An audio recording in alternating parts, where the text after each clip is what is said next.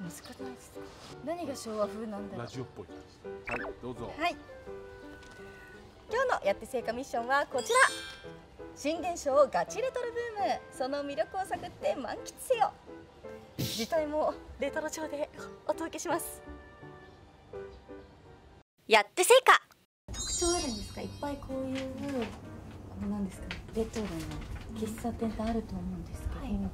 非日常感を味わえるところが、まあ、特徴なのとメニューがすごいどれも美味しくて食事と空間どっちも楽しめるところが魅力かなって。思う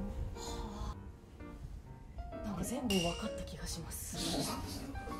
あんま編集点がないんだよね。上手すぎて。そうですね。す一ごい。回汗拭いていいですか？で見えないですよ 皆さん緊張するよね。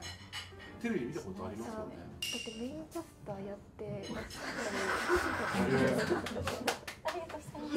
念なんですよ。はだから来たっていうのも。だから来たんですかありがたい。ありがたい。すごい。メインキャスターの方にもかかわらずすごい。親しみやすくて美しい。ですやだ10歳もお姉さんですよ私やって成果しもしも